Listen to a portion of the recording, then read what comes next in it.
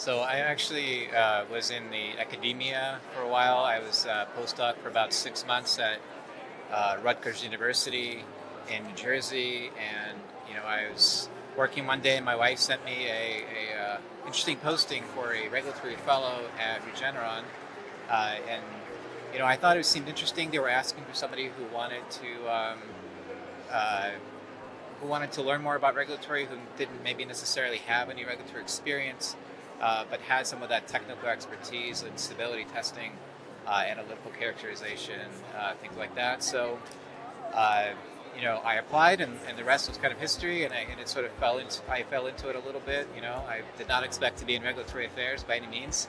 I thought I was going to be working as a postdoc, and then maybe, you know, go become an assistant professor or you know tenure track things like that. But definitely glad that it panned out the way it did.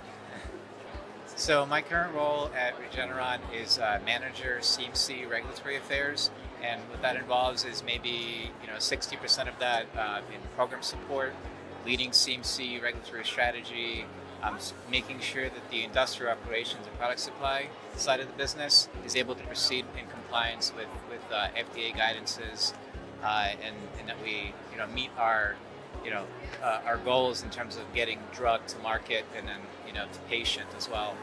Um, and then the other, you know, part of my role is, is really trying to see where we can improve our processes. So I'm heavily involved in continuous improvement.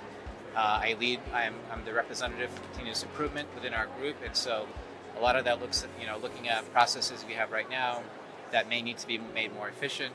Uh, we're standardizing other processes that may not have a standard operating procedure uh, that may need to, you know, you need to be formalized and put down on paper so that somebody is able to do it consistently every single time. Yeah. Definitely working in a cross-functional environment and, and making uh, a certain, you know, uh, meeting a certain goal. Um, and maybe, you know, that can be something that has never been done before. So trailblazing, um, working with different departments, working with the FDA, working with our industry partners and our CMOs to, you know, to, to reach that final goal that we want um, in the end. I initially got introduced to RAPS with my interest in taking the regulatory affairs certification. So, you know, I've been I've been part of RAPS. Uh, you know, Regeneron is an enterprise member, and you know, I, I read the articles. You know, I make you know I take in the content and everything. So but uh, definitely exciting to be part of all these. This is such a big organization where so many other people are very passionate about regulatory affairs.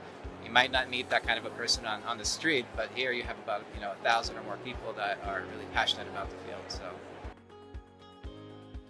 so I, you know, I, I have my bachelor's, I have my PhD, um, and all of that is good for the technical expertise and knowledge that I, you know, that, that I do have, and it helps contribute to my current role as a manager in CMC regulatory affairs, but I'd love to know a lot more about, you know, the, the you know, the, the regional requirements um, and, and, like Health Canada, EU, globally, uh, and make sure I fully understand the history, you know, from the very beginning when all the laws were really set into place to now where you have, uh, you know, you, you just have everything kind of happening, but I think some, some people may take that for granted and and um, they don't realize how much has had to happen and how much has had to be put into law, uh, you know, to get to where we are right now.